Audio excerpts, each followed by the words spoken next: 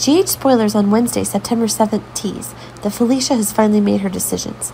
It can be seen that Cody is Felicia's new hope in ensuring that Mac is getting a new joy in life, but it is true that things are taking a crazy if a DNA related compulsion is making Felicia's suspicions clearer than ever. Of course, Felicia's wanting that Cody is having one of her husband's related things. Years of childless marriage are making the frustrations more and more overwhelming, for the truths that Felicia Mac is having to accept. But if Felicia is surreptitiously taking Cody and Mac's DNA samples for testing, new hopes are becoming clearer than ever.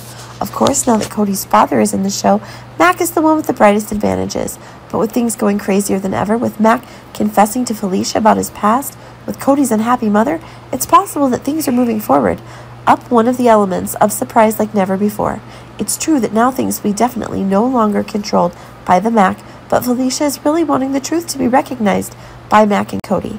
Next, we are seeing that Anna is in need of some help to combat the dangerous things Victor is doing, but it's possible that Anna is in need of this help of an old friend of his. Robert is really having some crazy ideas to put an end to the madness Victor is trying to impose.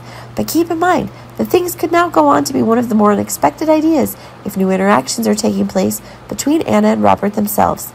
Remember that both of them have had one of the really great things in the past, and both still have much needed feelings for each other.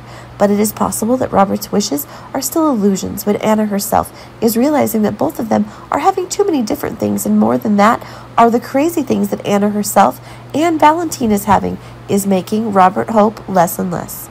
Speaking of Valentine, we are seeing that Alexis read his thoughts very clearly.